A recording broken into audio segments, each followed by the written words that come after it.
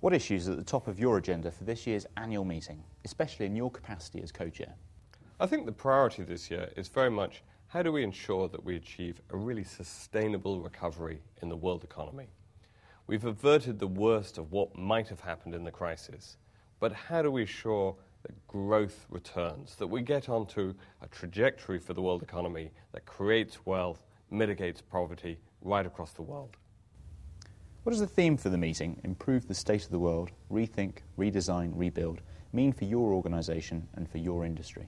Well, the phrase rethink, redesign, rebuild couldn't apply to any industry more than to banking, which has obviously been through a hugely traumatic period.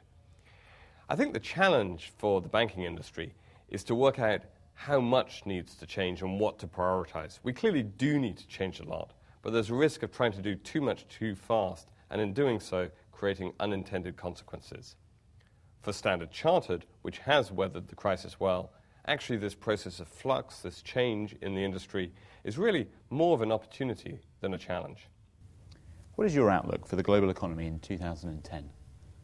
I think the global economy will have a better year in 2010 than in 2009. We have averted the worst of the crisis. However, I don't think we should be at all complacent. There is still deleveraging to be worked through, particularly in the West. That's never an easy process. And there will be shocks, there will be volatility. And I think the big question is how strong the recovery will be, how self reliant and resilient it will be once governments and policymakers begin to pull back on the various forms of fiscal and monetary stimulus that have been put in place. What is your reaction to the banking reforms that are on the table? What do you think should form the core of future regulations of the industry? There's no doubt that banking needs to be better regulated than it was before the crisis. Policymakers have moved very quickly from crisis management mode into the mode of thinking through what these changes need to be, and that's absolutely right. I think the risk, though, is that we try and do too much too fast, and therefore that we get unintended consequences in terms of the interaction of different initiatives and also that we're unable to do this in a globally coordinated fashion.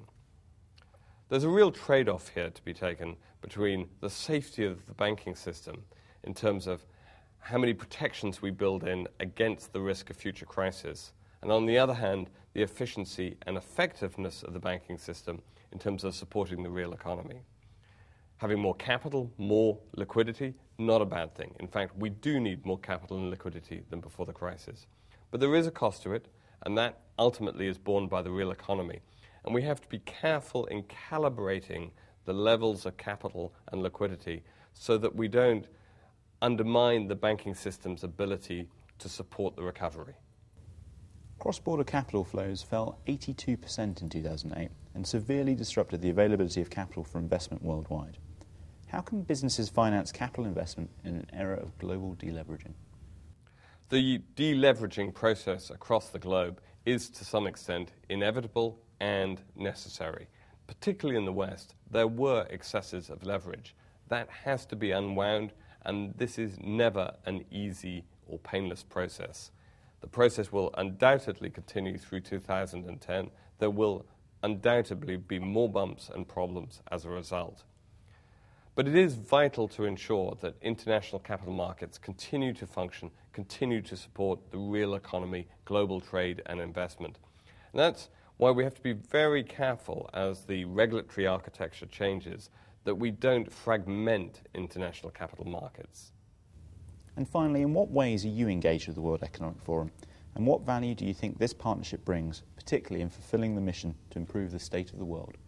Standard Chartered is a strategic partner of the World Economic Forum. And we are proud, I'm proud, to be a co chair of this year's annual meeting. I think the World Economic Forum plays a unique role, a very special role, in bringing together different types of actors companies, governments, NGOs bringing them together to debate and devise ways of tackling the many challenges that the world faces. For example, at Standard Chartered, we've used the World Economic Forum as a place at which we can work together with other companies, governments, and NGOs on issues as diverse as the challenge of eradicating malaria and also of financing SMEs in developing markets.